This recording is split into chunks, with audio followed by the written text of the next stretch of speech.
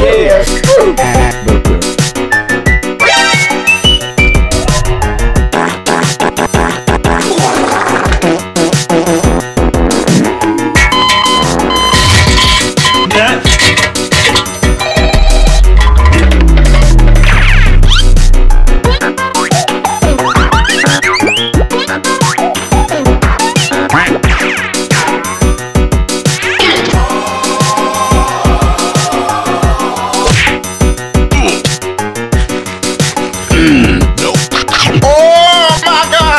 This is a certified hood classic.